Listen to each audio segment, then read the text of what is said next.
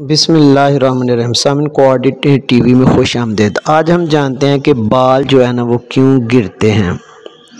पहली बात तो यह है कि हम बालों के लिए करते ही क्या हैं?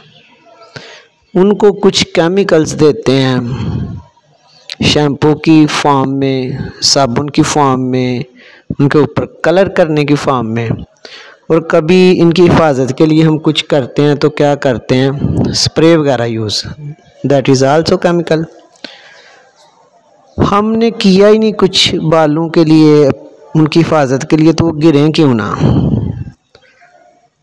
मेडिकल साइंस भी इस बात को मानती है। मज़ीद आगे रिसर्च होगी तो ये बात सही वाज होगी कि बालों के लिए ऑयल लगाना जितना फ़ायदा मंद है, कोई चीज़ नहीं। ना कोई मेडिसन ना कोई और। लेकिन वो लगाया कैसे जाए? आप सरसों का आयल ले लें, जैतून का आयल ले लें नेचुरल आयल लें, या आप कुछ आयल मिक्स कर लेते हो, वो यूज़ यूज़ कर लें। लेकिन क्या करना है, अपने रात को सोते हुए बालों की जड़ों में अच्छी तरह से आयल लगाना है। पूरी रात वो लगा रहे। पिलो ख़राब होता है, नीचे आप कोई कपड़ा रख लें, एक कपड़ा ले लें, उसके ऊपर डालिया करें, वही बार बार यूज़ हो।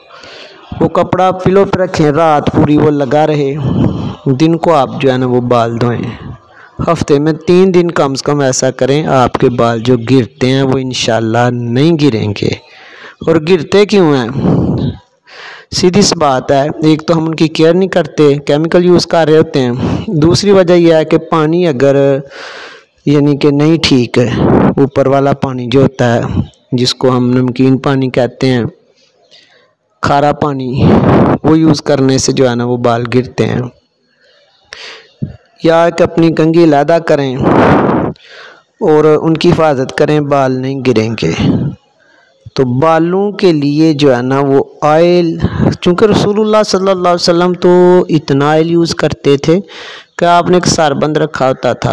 ऑयल लगा के ना वो ऊपर कपड़ा बांधते, ताकि जो है ना वो सेफ़ रहे। और आप सुनो, इतना ऑयल लगाया करते तो बाज़ दफ़ा जो है ना वो टपकता था बालों से। तो ऑयल बालों को फ़ायदा देता है, ये प्रॉपर आप लगाएँ इन आपके बाल नहीं गिरेंगे।